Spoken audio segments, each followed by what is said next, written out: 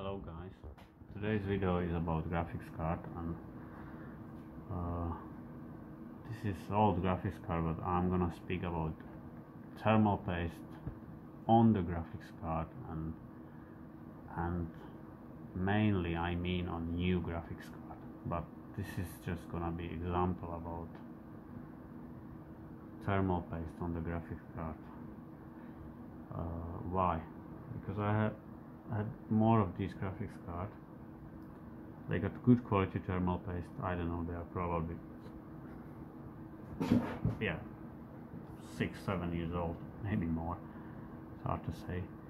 But yeah I disassembled few and replaced the graphics uh, thermal paste. It didn't help.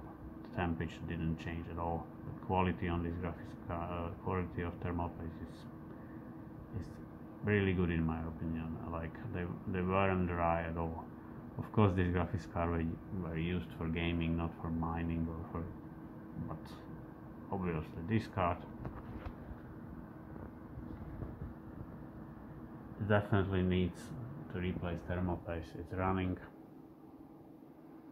it's running about 81 82 degree at the moment. This this case is not really good. You see this small space for intake but it's basically open case. Uh, as you can see it's running like 81 82 but I had the same graphics card which was worse. It was running up to 80 83 probably. So uh, we're running this card for I don't know 10 minutes at least. So graphics card which I had before.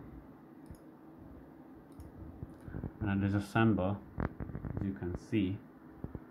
I mess up this little bit but as you can see these patches here here I messed this up a little bit already. But these patches there were no contact no thermal paste between chip and cooler so as you can see it can be probably I don't know 5% maybe not. But obviously the way the MSI put the heatsink on they put some air bubble which just stuck here. And uh, there were no contacts so obviously these places were overheating which is not good for graphics card the temperature definitely higher. And as I said I had 770 original thermal paste I replaced it and nothing's changed so I will show you heatsink as well. Got a heatsink? Is the heatsink? Heatsink was amazing condition. I don't know if somebody blow the air out but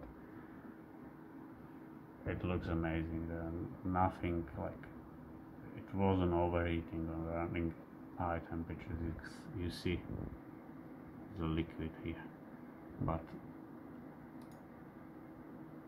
we have a closer look here. The patches they were here here here here here dry dry dry no contact at all. So with that being said this graphics card wasn't good from the beginning it came from the from the factory. The thermal paste wasn't in good condition. What I did I just I just uh, covered those patches a little bit and, and uh, I didn't really replace uh, thermal paste when I was testing this and it gave me about probably that car was running 83 84 so it gave me like 7 degree difference. And I guess it should run somewhere like 770 was running 71 so yeah. If if I replace the thermal paste properly it will probably help 10 degrees or like that. So you can live with it. It's gonna run the fans gonna run faster. And uh, we have 50 at the moment percent but that one was running 60 percent 65 so it was definitely a little bit more noisy and it wasn't good for the chip. So what's the point? The point is nothing to do with MSI I. Would say bit quality on this card is really good. Thermal paste is really good but the way they put it on wasn't good so if you buy graphics card check the temperature go on YouTube compare your temperature and if it is not what it should be like temperatures in open case just change the thermal paste or replace uh, replace the card go to the shop ask them replace that's gonna be headache whatever you want to return. Nowadays it's headache. So that's that's my point. And I would say probably one of the 10 cards can be like this. That's what it is new things. One out of 10 new things is faulty out of the out of the box so so this is my advice from this video you buy card check the temperatures uh, and I, I have to say even these cards you know these cards I don't know 770 will perform like 1050 Ti. And if you got small 1050 Ti small fans it will be way more noisier than these cards. The build quality was way better here. They will probably last way more even if, they have twice as much power consumption. But yeah in these days where graphics cards are not available and these graphics cards are able to play I don't know good for 144 Hz monitor if you play game like Fortnite if you not if you're not professional player of course you will get 130 FPS pro, pro settings are 11 so it's amazing. It's, it looks great so for the money they they cost they are still worthy cards uh, and they are twice as cheap as I don't know 1050 or 1050 Ti so they're still worthy a good graphics card.